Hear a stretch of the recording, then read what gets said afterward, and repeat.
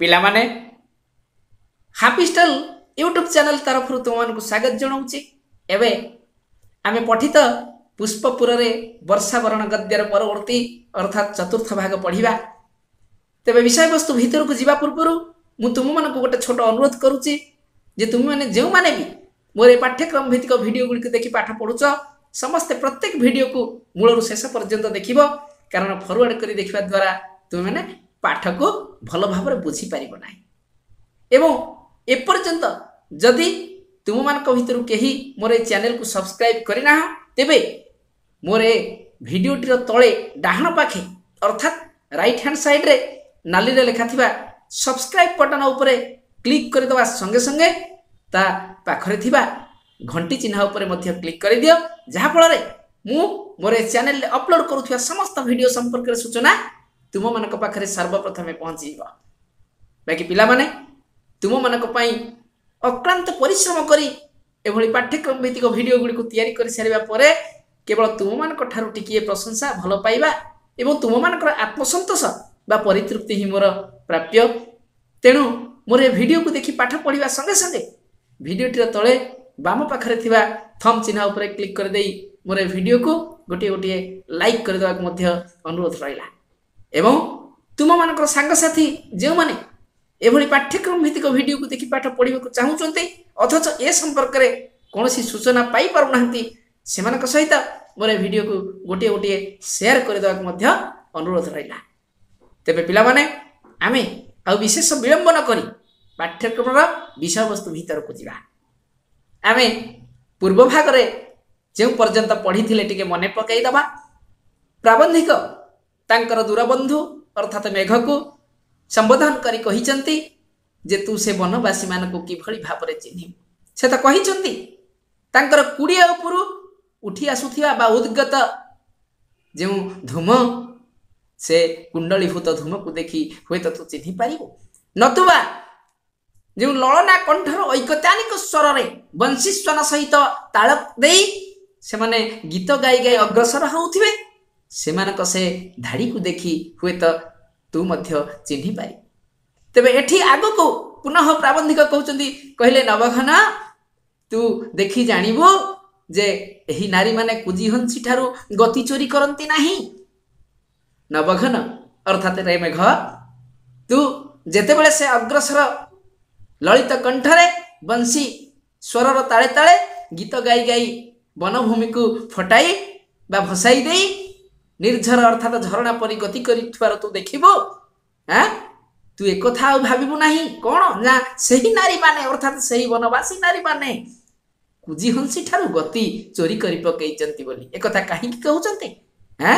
ମାଇ ହଂସକୁ କୁଜିହଂସ ସହିତ ସମ୍ବୋଧନ କରି ପ୍ରାବନ୍ଧିକ କହୁଛନ୍ତି ଯେ ବନବାସୀମାନଙ୍କର ଯେଉଁ ଚାଲି ତାହା ହୁଏତ ତତେ ଦେଖିଲେ ଲାଗିବ ଯେ ଏମାନେ କୁଜିହଂସୀ ପରିକି ଆଉ କୁଜିହଂସୀର ଭ୍ରମ ସୃଷ୍ଟି କରୁଛି ବୋଲି ଚିନ୍ତା କରିବୁନି ଯେ ସେମାନେ ଆଉ ସେ ଚାଲିକୁ ତାଠାରୁ ନକଲ କରିଛନ୍ତି ବା ଚୋରି କରିଛନ୍ତି ଚୋରି କରିବାର ଅର୍ଥ କ'ଣ ଚୋରେଇକିରି ଆଣିବା ନା ନକଲ କରିବା ତୁ ଏକଥା ଆଉ ଭାବିବୁନି ଯେ କୁଜିହଂସୀମାନଙ୍କ ଠାରୁ ସେମାନେ ଚାଲିର ନକଲ କରିଛନ୍ତି ବୋଲି ପ୍ରାବନ୍ଧିକ ଏଠି ସୂଚେଇ ଦେଉଛନ୍ତି କହୁଛନ୍ତି କିମ୍ବା ମଦାଳସା ହୋଇ ମାତଙ୍ଗିନୀ ପରି ଚାଲନ୍ତି ନାହିଁ ମଦାଳସାର ଅର୍ଥ କ'ଣ ଅର୍ଥାତ୍ ମଦ ପିଇକିରି ବା ନିଶା ସେବନ କରି ଯେଉଁଭଳି ଭାବରେ ଚାଲି ପକେଇ ଦିଆଯାଏ ତାହାକୁ କୁହାଯାଏ କ'ଣ? ମଦାଳସା। ମଦରେ ଆଳସ୍ୟପୂର୍ଣ୍ଣ ଭାବରେ ଚାଲିବାକୁ ମଦାଳସା। ତେଣୁ ମଦାଳସା ହୋଇ ମାତଙ୍ଗିନୀ ମାତଙ୍ଗିନୀ ଅର୍ଥାତ୍ ମାଇ ହସ୍ତିକୁ ମାତଙ୍ଗିନୀ ବୋଲି କୁହାଯାଏ ବା ହାତୀ। କହିଲେ ସେମାନେ ମାତଙ୍ଗିନୀ ଅର୍ଥାତ୍ ମାଇ ହାତୀ ପରି ମଦାଳସା ଅର୍ଥାତ୍ ମଦ ପିଇକିରି ଯେମିତି ଚାଲି ହୁଏ ସେ ଠିକ୍ ସେଇଭଳି ଭାବରେ ସେମାନେ ଚାଲନ୍ତି ନାହିଁ।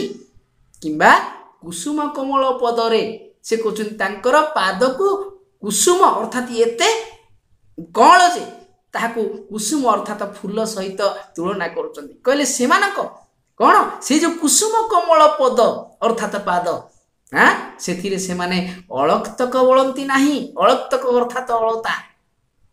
ଲେଖକ ବା ପ୍ରାବନ୍ଧିକ ଏଠି ସୂଚେଇ ଦେଉଛନ୍ତି ଯେ ଯେଉଁ ବନବାସୀମାନଙ୍କ କଥା ମୁଁ କହୁଛି ସେମାନେ ଏତେ ସାଧାରଣ ଏବଂ ନିଷ୍କପଟ ଜୀବନଯାପନ କରନ୍ତି ଯେ ସେମାନେ ସଭ୍ୟ ଜଗତର ମଣିଷ ପରି ସଭ୍ୟ ଜଗତର ନାରୀଙ୍କ ପରି ନିଜର ଯେଉଁ କଅଁଳିଆ ପାଦ ସେ କଅଁଳିଆ ପାଦରେ କୁସୁମ ସହିତ ତୁଳନା କରି ପ୍ରାବନ୍ଧିକ ଏଠି କହୁଛନ୍ତି କୁସୁମ କୋମଳ ଅର୍ଥାତ୍ କୁସୁମ ପରି କୋମଳିତ ତାଙ୍କର ପାଦରେ ସେମାନେ କେବେ ଅଳତା ବୋଳିବାର କ'ଣ? ନା ପ୍ରମାଣ ନାହିଁ। ସେମାନେ କେବେ ହେଲେ ଅଳତା ବୋଳନ୍ତି ନାହିଁ କିମ୍ବା ଜବାଧରରେ ରକ୍ତ ରାଗ ରଞ୍ଜନ୍ତି ନାହିଁ। ପିଲାଏ ଜବାଧର କ'ଣ? ଅଧର ଅର୍ଥାତ୍ ହେଉଛି ଓଠ ବା ଥୋଡ଼କୁ କୁହାଯାଏ। ମନ୍ଦାର ଫୁଲ ଯେଭଳି ଭାବରେ ରଙ୍ଗ ଅଧର ଅର୍ଥାତ୍ ଓଠଟି ସେଇଭଳି ଭାବରେ ରଙ୍ଗ ଦେଖାଯାଉଥିବା ହେତୁ ଏଠାରେ ପ୍ରାବନ୍ଧିକ କହୁଛନ୍ତି ଜବାଧରରେ ଅର୍ଥାତ୍ ମନ୍ଦାର ପରିକା ଦେଖାଯାଉଥିବା ଅଧର ବା ଓଠରେ। ସେମାନେ ରକ୍ତରାଗ ରଞ୍ଜତି ନାହିଁ। ରକ୍ତରାଗ ଅର୍ଥାତ୍ କ'ଣ? ରକ୍ତ ଅର୍ଥାତ୍ ଏଠି ଆଉ କ'ଣ ରକ୍ତର କଥା କୁହାଯାଇଛି ସତରେ? ନା ରକ୍ତ ପରିକା ବର୍ଣ୍ଣ ବା ରଙ୍ଗକୁ ସେମାନେ କ'ଣ କରନ୍ତି ନାହିଁ? ନା ରଞ୍ଜନ୍ତି ନାହିଁ। ଅର୍ଥାତ୍ ବୋଳିକିରି ନିଜକୁ ସୁନ୍ଦର ହେବା ପାଇଁ ଦେଖେଇ ହୁଅନ୍ତି ନାହିଁ। ଏଠି ପ୍ରାବନ୍ଧିକ ସୁନ୍ଦର ଭାବେ ବର୍ଣ୍ଣନା କରୁଛନ୍ତି। କହିଲେ ସୁସ୍ଥ ସବଳ ଓ ସୁବଳିତ ତନୁଲତାରେ ବନପୁଷ୍ପ ଭରା ଗୋଭାର ଶୋଭା ଧାରଣ କରି ଏମାନେ ସଂକୀର୍ଣ୍ଣ ବନ୍ଧୁରା କର୍କଶା ଓ ଉରଗ କୁଟିଳ ଗିରିପଥକୁ ହାସ୍ୟ ଓ ସଙ୍ଗୀତରେ ମୁଖର କରି ନିର୍ଝରିଣୀ ପରି ଗତି କରି ଚାଲନ୍ତି। ପ୍ରାବନ୍ଧିକ କହୁଛନ୍ତି ଯେ ସୁସ୍ଥ ସବଳ ଓ ସୁବଳିତ ସୁସ୍ଥ ଭାବରେ ଥିବା ସବଳ ଏବଂ ସୁବଳିତ ତନୁଲତାରେ। ନିଜର କ'ଣ? ତନୁ ଅର୍ଥାତ୍ ଶରୀର। ଏଇ ଲତା ରୂପକ ଶରୀରରେ ତାଙ୍କର ବନ ପୁଷ୍ପ ଭରା। ଗଭାର ବନ ଅର୍ଥାତ୍ ଜଙ୍ଗଲ ବା ଅରଣ୍ୟ। ଅରଣ୍ୟରେ ପ୍ରସ୍ଫୁଟିତ ହେଉଥିବା ଫୁଲ ବା ପୁଷ୍ପକୁ କହୁଛନ୍ତି ଏଠି କ'ଣ? ଯେ ବନରେ ପ୍ରସ୍ଫୁଟିତ ହେଉଥିବା ଫୁଲକୁ ସେମାନଙ୍କ ଗଭାରେ ଗଭା ଅର୍ଥାତ୍ କ'ଣ? ମୁଣ୍ଡରେ ସ୍ତ୍ରୀ ଲୋକମାନେ ଯେଉଁ ଖୋସା ବା ଚୁଟିକୁ ବାନ୍ଧିଥାନ୍ତି ତାକୁ ଗଭା ବୋଲି କୁହାଯାଏ। କହିଲେ ସେମାନେ ସେମାନଙ୍କର ଗଭାର ଶୋଭାଧାରଣ କରି ଅର୍ଥାତ୍ ବଣରେ ଫୁଟୁଥିବା ପୁଷ୍ପକୁ ସେମାନେ ଆଉ ଗେଣ୍ଡୁ ଫୁଲ ଆଣନ୍ତି ନାହିଁ କିଣିକିରି। କେବଳ ଜଙ୍ଗଲରେ ଯେଉଁ ପୁଷ୍ପଟି ତାଙ୍କର ଫୁଟୁଥାଏ। କେବଳ ସେଇ ଜଙ୍ଗଲୀ ପୁଷ୍ପକୁ ଆଣିକିରି ସେମାନେ ସେମାନଙ୍କର ଗଭାକୁ ସୁନ୍ଦର କରିଥାନ୍ତି ଶୋଭାରେ ଶୋଭାୟିତ କରିଥାନ୍ତି ଏବଂ ମନମୁଗ୍ଧକର ଯେଭଳି ଭାବରେ ଦେଖାଯିବ ସେ ନିଜେ ନିଜକୁ ସଜେଇଥାନ୍ତି। କହିଲେ ଶୋଭା ଧାରଣ କରି ଏମାନେ ସଂକୀର୍ଣ୍ଣ ବନ୍ଧୁର କର୍କଶ ସଂକୀର୍ଣ୍ଣ ଅର୍ଥାତ୍ ଅଣଓସାରିଆ ବନ୍ଧୁର ମଧ୍ୟ କ'ଣ? ଯେଉଁଠି ଅତ୍ୟନ୍ତ ଭାବରେ ଖାଲ ଢିପ ବନ୍ଧୁର ଅତ୍ୟନ୍ତ ଯେଉଁଠି ଯନ୍ତ୍ରଣାଦାୟକ ରାସ୍ତା ଅର୍ଥାତ୍ କଷ୍ଟକର ସେ ରାସ୍ତାକୁ ଯିବା ସେଇ ବନ୍ଧୁର କର୍କଶ ଓ କ'ଣ? ନା ଉରଗ କୁଟିଳ ଗିରି ପଥକୁ ଉରଗ ଅର୍ଥାତ୍ ସର୍ପ ଉରଗ କୁଟିଳ କାହିଁକି ଏକଥା କୁହାଯାଇଛି? ନା ସର୍ପ ଯେଭଳି ବଙ୍କେଇ ଟଙ୍କେଇ ବଙ୍କେଇ ଟଙ୍କେଇ ହେଇ ଚାଲୁଥାଏ ସେଠିକାର ରାସ୍ତା ମଧ୍ୟ ସେଇଭଳି ଭାବରେ। ଆଉ ସଭ୍ୟ ଜଗତର ମଣିଷମାନେ ତିଆରି କରିଥିବା ପକ୍କା ସଡ଼କ ପରି ସିଧା ସେମାନଙ୍କ ସଡ଼କ ଯାଇନାହିଁ। ସେମାନେ ଜଙ୍ଗଲୀ ଆଦିବାସୀ ସେମାନେ ବଣରେ ରହନ୍ତି। ସେମାନଙ୍କ ଜୀବନଶୈଳୀ ହେଉଛି ସାଧାରଣ। ତେଣୁ ସେମାନଙ୍କର ଏଭଳି ସଭ୍ୟ ଜଗତ ପରି ରାସ୍ତା କେଉଁଠୁ ଆସନ୍ତା? ତେଣୁ ଉରଗ କୁଟିଳ ସର୍ପ ପରି ବଙ୍କେଇ ଟଙ୍କେଇ ହୋଇ ଯାଉଥିବା ପରି ରାସ୍ତା ସେମାନଙ୍କର ଯେଉଁ ଗିରିପଥ ଅର୍ଥାତ୍ ଜଙ୍ଗଲ ଭିତରେ ଗିରି ଅର୍ଥାତ୍ ପର୍ବତ ପର୍ବତ ମଧ୍ୟରେ ଯାଇଥିବା ଯେଉଁ ପଥ ଅର୍ଥାତ୍ ରାସ୍ତା କ'ଣ? ନା ସେମାନେ ହାସ୍ୟ ଓ ସଙ୍ଗୀତରେ ମୁଖର କରି ନିର୍ଝରିଣୀ ପରି ଗତି କରି ଚାଲିଥାନ୍ତି। ସେଇ ଜଙ୍ଗଲିଆ ରାସ୍ତାରେ ମଧ୍ୟ ସେଇ ବଙ୍କା ଟଙ୍କା ଖାଲ ଢିପ ରାସ୍ତାରେ ମଧ୍ୟ ସେଇ କଣ୍ଟକିତ ରାସ୍ତାରେ ମଧ୍ୟ ସେମାନେ କ'ଣ କରୁଥାନ୍ତି? ନିଜ ଭିତରେ ଯଥେଷ୍ଟ ଖୁସି ଥାନ୍ତି ତେଣୁ ହାସ୍ୟ ଏବଂ ସଙ୍ଗୀତରେ ହସି ହସିକିରି ସଙ୍ଗୀତ ଗାନ କରି କରି ଜଙ୍ଗଲକୁ ମୁଖରିତ କରି ନିର୍ଝରିଣୀ ପରି ଗତି କରି ଚାଲିଥାନ୍ତି। ନିର୍ଝରିଣୀ ଅର୍ଥାତ୍ ହେଉଛି କ'ଣ? ନା ଝରଣା। ଝରଣା ଯେଉଁଭଳି ଭାବରେ କୁଳୁ କୁଳୁ ନାଦରେ ବହି ଚାଲିଥାଏ। ସେମାନେ ମଧ୍ୟ ସେମାନଙ୍କ ସାଧାରଣ ଜୀବନକୁ ସେଇଭଳି ଭାବରେ ଖୁସିର ସହିତ କଟେଇ ଦେଇଥାନ୍ତି। ନିର୍ଝରିଣୀ ଝରଣା ପରି ସେମାନେ ଗତି କରି ଚାଲୁଥାନ୍ତି ଆଗକୁ ଆଗକୁ। ପୁନଃ ପ୍ରାବନ୍ଧିକ ଆଉ ଥରେ କହୁଛନ୍ତି ଯେ ବାରିବାହ ଏ ସମସ୍ତେ ତୋର ବାନ୍ଧବୀ। ହେ ବାରିବାହ ହେ ବନ୍ଧୁ ହେ ମେଘ ଏଇମାନେ ଯାହାଙ୍କ କଥା ମୁଁ ଆଜି ବର୍ଣ୍ଣନା କରୁଛି ତୋ ପାଖରେ ଯାହାଙ୍କ କଥା ଆଜି ତତେ କହୁଛି ସେମାନେ ସମସ୍ତେ ହଉଛନ୍ତି ତୋର ବାନ୍ଧବୀ। ତେଣୁ ସେମାନେ ସମସ୍ତେ ତୋର ବାନ୍ଧବୀ। ଏଇ ବନବାସୀମାନଙ୍କ କଥା କହି ପରିଚୟ କରାଉଛନ୍ତି କିଏ ନା ପ୍ରାବନ୍ଧିକ। କହିଲେ ତୋର ଗୁରୁ ଗମ୍ଭୀର ଗର୍ଜନରେ ତୁ ଯୋଉ ଗୁରୁ ଗମ୍ଭୀର ଗର୍ଜନ କରିବୁ କାହିଁକି? ନା ମେଘ ଆସିଲା ବେଳେ ଘଡ଼ଘଡ଼ି ଚଡ଼ଚଡ଼ି ଗୁରୁ ଗମ୍ଭୀର ଗର୍ଜନ କରି ଆସିଥାଏ। ତେଣୁ ପ୍ରାବନ୍ଧିକ ଏଠି ସୂଚେଇ ଦଉଛନ୍ତି କହୁଛନ୍ତି ତୋର ଗୁରୁ ଗମ୍ଭୀର ଗର୍ଜନରେ ଭିତା ହୋଇ ଏମାନେ ଆଲିଙ୍ଗନ ପାଇଁ ପୁରୁଷ ପାଶକୁ ପଳାନ୍ତି ନାହିଁ। ସାଧାରଣତଃ ମେଘ ଘଡ଼ଘଡ଼ି ମାରିଲା ବେଳେ ହଠାତ୍ କି ଯଦି ଗୋଟେ ମେଘ ଘଡ଼ଘଡ଼ି ମାରିଯାଏ ତେବେ ଝିଅ ପିଲାମାନେ ଅର୍ଥାତ୍ ସ୍ତ୍ରୀ ଲୋକମାନେ ସେମାନେ କ'ଣ କହନ୍ତି ଚମକି ପଡ଼ି ପୁରୁଷକୁ ଜାବୁଡ଼ି ଧରିଥାନ୍ତି। ଇଏ ଭୁଲ କହି ଜାବୁଡ଼ି ଧରି ପକାନ୍ତି। କାହିଁକି? ନା ସାଧାରଣତଃ ସେମାନଙ୍କର ଶରୀରଟି ହେଉଛି କ'ଣ? ଟିକେ କୋମଳ। ସାଙ୍ଗେ ସାଙ୍ଗେ ଆକ୍ରମଣ କରିବା ବା ସାଙ୍ଗେ ସାଙ୍ଗେ ଗୋଟେ ଶବ୍ଦ ହେଇଯିବା ଏମାନଙ୍କୁ ସେମାନେ ସହ୍ୟ କରିପାରନ୍ତି ନାହିଁ। ତେଣୁ ହଠାତ୍ କରି ପୁରୁଷକୁ ଆଲିଙ୍ଗନ କରି ପକାନ୍ତି ଧରି ପକାନ୍ତି। ତେଣୁ ଏଠି ପ୍ରାବନ୍ଧିକ ସୂଚେଇ ଦେଉଛନ୍ତି କିନ୍ତୁ ଯେଉଁ ବନବାସୀମାନଙ୍କ କଥା ମୁଁ କହୁଛି ସେଇ ବନବାସୀମାନେ କେବେ ହେଲେ ତତେ ଭିତା ଅର୍ଥାତ୍ ଡରି ଯାଆନ୍ତି ନାହିଁ। ସ୍ତ୍ରୀଲିଙ୍ଗ ଅର୍ଥରେ ଭିତର ସ୍ତ୍ରୀଲିଙ୍ଗରେ ହେଉଛି ଭିତା। କହୁଛନ୍ତି ଏମାନେ ଆଲିଙ୍ଗନ ପାଇଁ ପୁରୁଷ ପାଶକୁ ପଳାନ୍ତି ନାହିଁ। ପୁରୁଷକୁ ଆଲିଙ୍ଗନ କରି କୁଣ୍ଢେଇ ପକେଇ ଧରି ପକେଇବେ ବୋଲି ଡରିକିରି ବା ଭିତ ହେଇକିରି ସେମାନେ କେବେ ହେଲେ ଯାଆନ୍ତି ନାହିଁ ପୁରୁଷମାନଙ୍କ ପାଖକୁ। ଆଉ କହୁଛନ୍ତି ଯେ ଅବିରତ ବୃଷ୍ଟିପାତ ମଧ୍ୟରେ ବନସ୍ପତି ପରି ରହି ଶସ୍ୟ କ୍ଷେତ୍ରରେ କର୍ମରତ ରହନ୍ତି। ପ୍ରାବନ୍ଧିକ ସୂଚେଇ ଦେଉଛନ୍ତି କହୁଛନ୍ତି ରେ ଜଳଦ ରେ ବାରିବାହ ଏଇମାନେ କେବେ ହେଲେ ତୋର ଗୁରୁ ଗମ୍ଭୀର ଗର୍ଜନରେ ଡରି ଯାଆନ୍ତି ନାହିଁ। ପୁରୁଷକୁ ଆଲିଙ୍ଗନ ପାଇଁ ତା ପାଖକୁ ପଳେଇ ଯାଆନ୍ତି ନାହିଁ। ଆଉ କହୁଛନ୍ତି ପ୍ରାବନ୍ଧିକ ଯେ ଅବିରତ ବୃଷ୍ଟିପାତ ମଧ୍ୟରେ ବନସ୍ପତି ପରି ରହି ଶସ୍ୟ କ୍ଷେତ୍ରରେ କର୍ମରତ ରହନ୍ତି।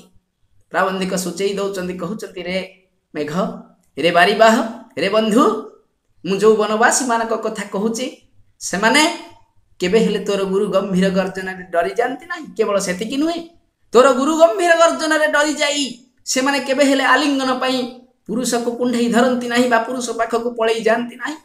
ଏବଂ ଆଉ ଗୋଟିଏ କଥା ମଧ୍ୟ କ'ଣ? অবিরত বৃষ্টিপাত অবিরতর অর্থ কেবে হেলে বিশ্রাম নথায় যেতবে অনবর্ত বৃষ্টিপাত চালি থাকে তেমন অবিরত বৃষ্টিপাত মধ্যে বনস্পতি পরি রহি। বনস্পতির অর্থ কোণ? বন ভিতরে থিবা প্রকাণ্ড প্রকাণ্ড গছকু বা বৃক্ষকু কুহযায় বনস্পতি তেমন এমানে বনস্পতি বৃক্ষ গুড়িক মধ্য প্রকাণ্ড বৃক্ষ গুড়িক মধ্য যেভাবে ভাবরে যেতে খরা বর্ষা হলে মধ্য বন মধ্যে সেইভাবে ভাবরে দণ্ডায়মান হয়ে রই থাকে ପ୍ରାବନ୍ଧିକ ଏଠି ସେମାନଙ୍କୁ ବନସ୍ପତିର ସହିତ ତୁଲ୍ୟ କରି ବା ତୁଳନା କରି କହୁଛନ୍ତି କ'ଣ? ଏମାନେ ମଧ୍ୟ ବନସ୍ପତି ପରି ସେଇଠାରେ ସେମିତି ରହି ଶସ୍ୟ କ୍ଷେତ୍ରରେ ସେମାନଙ୍କର କର୍ମରତ ରହନ୍ତି।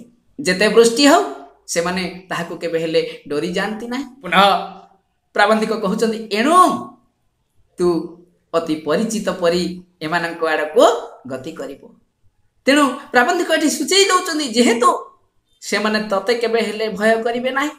ସେମାନେ ସେମାନଙ୍କ କର୍ମକୁ ନା ମୁଖ୍ୟ ବୋଲି ମନେ କରି କର୍ମକ୍ଷେତ୍ରରୁ ସେମାନଙ୍କର ଓହରି ଯାଆନ୍ତି ନାହିଁ। କେବେ ହେଲେ ତତେ ଡରିଯିବେ ନାହିଁ। କେବେ ହେଲେ ସେମାନେ ତତେ ଡରି ପୁରୁଷକୁ କୁଣ୍ଢେଇ ପକାଇବା ପାଇଁ ପୁରୁଷଙ୍କ ପାଖକୁ ପଳେଇ ଯାଆନ୍ତି ନାହିଁ।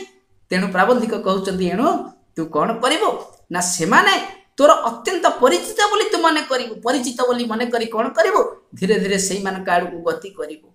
ପ୍ରାବନ୍ଧିକ ପୁନଃ ସୂଚାଉଛନ୍ତି ନଚେତ୍ ତୋତେ ଅପରିଚିତ ବୋଲି ଜାଣିଲେ ଉଚ୍ଚ ହାସ୍ୟରେ ଏମାନେ ବନଭୂମି କମ୍ପାଇ ଦେବେ ତେଣୁ ପ୍ରାବନ୍ଧିକ ଏଠି ତାଙ୍କୁ ସୂଚେଇ ଦେଉଛନ୍ତି ତାଙ୍କର ବନ୍ଧୁକୁ ଦୂରବନ୍ଧୁ ଅର୍ଥାତ୍ ମେଘକୁ ଯେ ତୁ ସେମାନଙ୍କ ପାଖକୁ ଅତ୍ୟନ୍ତ ପରିଚିତ ବୋଲି ମନେ କରି ଅର୍ଥାତ୍ ସତେ ଯେମିତିକି ତୁ ସେମାନଙ୍କୁ ଚିହ୍ନିଛୁ ଜାଣିଛୁ ସେଇଭଳି ଭାବରେ ଗତି କରିବୁ ନଚେତ୍ ଯଦି ତୁ ଅପରିଚିତ ଭଳି ହବୁ ସେମାନେ ତୋତେ ଅପରିଚିତ ବୋଲି ଭାବିବେ ତେବେ କ'ଣ ହବ ନା ତୋତେ ଦେଖିକିରି ସିଏ ସିଏ ହାସ୍ୟ ରସରେ ତୋତେ ଉଡ଼ାଇ ଦେବେ। ଉଚ୍ଚ ହାସ୍ୟ ଅର୍ଥାତ୍ ଅଟହାସ୍ୟ କରିବେ ଥଟ୍ଟା ପରିହାସ କରିବେ ଚିଗୁଲି କରିବେ। ହସିକିରି କ'ଣ କରିବେ? ଏମାନେ ବନଭୂମି କମ୍ପାଇ ଦେବେ ଏତେ ଜୋରରେ ହସିବେ ଯେ ଅରଣ୍ୟ ମଧ୍ୟସ୍ଥ ଅଞ୍ଚଳ ପରିବ୍ୟାପ୍ତ ହେଇଯିବ। ବନଭୂମିକୁ ଥରେଇ ଦେବେ। ତାଙ୍କର ହାସ୍ୟ ରୋଳରେ ବନଭୂମି ପ୍ରକମ୍ପିତ ହୋଇ ଉଠିବ। ଏ କଥାକୁ ପ୍ରାବନ୍ଧିକ ପୁନଃ ତାଙ୍କର ଦୂରବନ୍ଧୁ ମେଘକୁ ସୂଚେଇ ଦେଉଛନ୍ତି ତେବେ ଆଗକୁ ପୁନଃ କିଭଳି ଭାବରେ ମେଘକୁ ସମ୍ବୋଧନ କରି ଉତ୍କଳ ମାଟିକୁ ପଠାଉଛନ୍ତି ପିଲାମାନେ ଆମେ ପରବର୍ତ୍ତୀ ଭାଗରେ ପଢ଼ିବା। ତେବେ ଏ ଭାଗର ପାଠ୍ୟକ୍ରମକୁ ଆମେ ଏଇଠି ରଖିବା ପରବର୍ତ୍ତୀ ଭାଗରେ ଆଉ ଆଗକୁ ପଢ଼ିବା।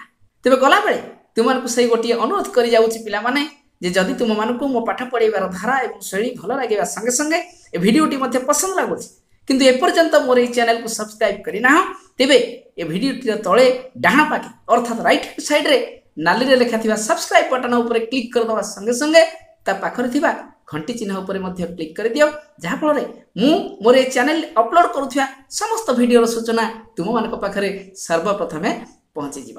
ବାକି ପିଲାମାନେ ତୁମମାନଙ୍କ ପାଇଁ ଅକ୍ଳାନ୍ତ ପରିଶ୍ରମ କରି ଏଭଳି ପାଠ୍ୟକ୍ରମ ଭିତ୍ତିକ ଭିଡ଼ିଓ ଗୁଡ଼ିକୁ ତିଆରି କରିସାରିବା ପରେ କେବଳ ତୁମମାନଙ୍କ ଠାରୁ ଟିକିଏ ପ୍ରଶଂସା ଭଲ ପାଇବା ଏବଂ ତୁମମାନଙ୍କର ଆତ୍ମସନ୍ତୋଷ ବା ପରିତୃପ୍ତି ହିଁ ମୋର ପାରିଶ୍ରମିକ। ତେଣୁ ଏ ଭିଡ଼ିଓକୁ ଦେଖି ପାଠ ପଢ଼ିବା ସଙ୍ଗେ ସଙ୍ଗେ ଭିଡ଼ିଓଟିର ତଳେ ବାମ ପାଖରେ ଥିବା ଥମ୍ ଚିହ୍ନ ଉପରେ କ୍ଲିକ୍ କରିଦେଇ ମୋର ଏ ଭିଡ଼ିଓକୁ ଗୋଟିଏ ଗୋଟିଏ ଲାଇକ୍ କରିଦେବାକୁ ମଧ୍ୟ ଅନୁରୋଧ ରହିଲା।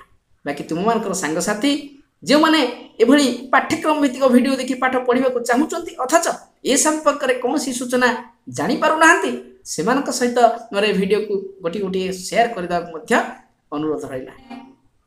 ତୁମମାନଙ୍କ ପାଇଁ ଶେଷ ସୂଚନାଟି ହେଉଛି ଯେ ଗୁଗୁଲ ତରଫରୁ ମୋର ପାଠ୍ୟକ୍ରମ ଭିତ୍ତିକ ଭିଡ଼ିଓ ଗୁଡ଼ିକୁ ମାନ୍ୟତା ମିଳିଛି। ସେହେତୁ ସେମାନେ ମୋର ପ୍ରତ୍ୟେକ ଭିଡ଼ିଓର ଆରମ୍ଭରୁ କିଛି କିଛି ବିଜ୍ଞାପନ ପ୍ରଦର୍ଶନ କରୁଛନ୍ତି। ତେଣୁ ତୁମମାନଙ୍କୁ ମୋର ଅନୁରୋଧ ଯେତେବେଳେ ତୁମେ ମୋର କୌଣସି ବି ପାଠ୍ୟକ୍ରମ ଭିତ୍ତିକ ଭିଡ଼ିଓକୁ ଦେଖିବା ପାଇଁ ଅନ୍ କରୁଛ ଯଦି ପ୍ରାରମ୍ଭରୁ କିଛି ବିଜ୍ଞାପନ ଆସିଯାଉଛି ତେବେ ସେ ବିଜ୍ଞାପନ ଗୁଡ଼ିକୁ ସ୍କିପ୍ ନକରି ପୁରା କଣ୍ଟିନ୍ୟୁ କରି ତାକୁ ଦେଖିବାକୁ ଅନୁରୋଧ। କାରଣ ଯଦି କଣ୍ଟିନ୍ୟୁ ନ କର ହୁଏତ ଭବିଷ୍ୟତରେ ସେ ପାଠ୍ୟକ୍ରମ ଭିତ୍ତିକ ଭିଡ଼ିଓ ଗୁଡ଼ିକୁ ବାତିଲ କରିଦେଇପାରନ୍ତି ଏବଂ ତୁମେମାନେ ମଧ୍ୟ ମୋର ଏ ପାଠ୍ୟକ୍ରମ ଭିତ୍ତିକ ଭିଡ଼ିଓକୁ ଦେଖିବାରୁ ବଞ୍ଚିତ ହେବ। ତେବେ ତୁମମାନଙ୍କର ଏଇ ଯେଉଁ ବିଜ୍ଞାପନକୁ ଦେଖୁଛ ତାର ମଧ୍ୟ ପରିଶ୍ରମକୁ ମୁଁ ଅକାମୀ କରିଦେଉନି। ମୁଁ ସେଥିପାଇଁ ମଧ୍ୟ କିଛି ବ୍ୟବସ୍ଥା କରିଛି। କ'ଣ? ଯେଉଁମାନେ ମୋର ଏ ପାଠ୍ୟକ୍ରମ ଭିତ୍ତିକ ଭିଡ଼ିଓ ଗୁଡ଼ିକୁ ଦେଖିଲା ବେଳେ କିଛି ବିଜ୍ଞାପନ ଆସିଯାଉଛି ଯେଉଁମାନେ ସମ୍ପୂର୍ଣ୍ଣ ଭାବରେ ବିଜ୍ଞାପନକୁ କଣ୍ଟିନ୍ୟୁ କରି ଦେଖୁଛ ସେମାନଙ୍କର ମେଲ୍ ଆଇଡ଼ିକୁ ମୁଁ ଷ୍ଟୋର କରି ରଖୁଛି ଏବଂ ପ୍ରତି ମାସରେ ସେଇ ମେଲ୍ ଆଇ ଡି ଗୁଡ଼ିକ ମଧ୍ୟରେ ଗୋଟିଏ ଲେଖା ଲଟେରୀ କରି ଜଣେ ଜଣେ ଭାଗ୍ୟଶାଳୀ ବିଜେତାଙ୍କୁ କିଛି ଆକର୍ଷଣୀୟ ପୁରସ୍କାରରେ ପୁରସ୍କୃତ କରିବି। ତେଣୁ ତୁମେମାନଙ୍କୁ ମୋର ଅନୁରୋଧ ଯେ ଯେତେବେଳେ ବି ତୁମେମାନେ କୌଣସି ବି ଭିଡ଼ିଓ ଦେଖୁଛ ମୋର ପାଠ ପଢ଼ିବା ପାଇଁ ଅନ୍ କରୁଛ ଯଦି କିଛି ବିଜ୍ଞାପନ ଆସୁଛି ପ୍ରଥମରୁ ତେବେ ସେ ବିଜ୍ଞାପନ ଗୁଡ଼ିକୁ ଆଦୌ ସ୍କିପ୍ ନ କରି କଣ୍ଟିନ୍ୟୁ କରିବା ପାଇଁ ଅନୁରୋଧ ରହିଲା। ତେଣୁ ତୁମେମାନେ ବି ବିଜ୍ଞାପନକୁ କଣ୍ଟିନ୍ୟୁ କରି ଦେଖି ପୁରସ୍କାର ପାଇବା ପାଇଁ ନିଜକୁ ସାମିଲ କରିବା।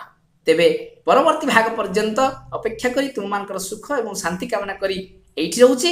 ଧନ୍ୟବାଦ ପିଲାମାନେ।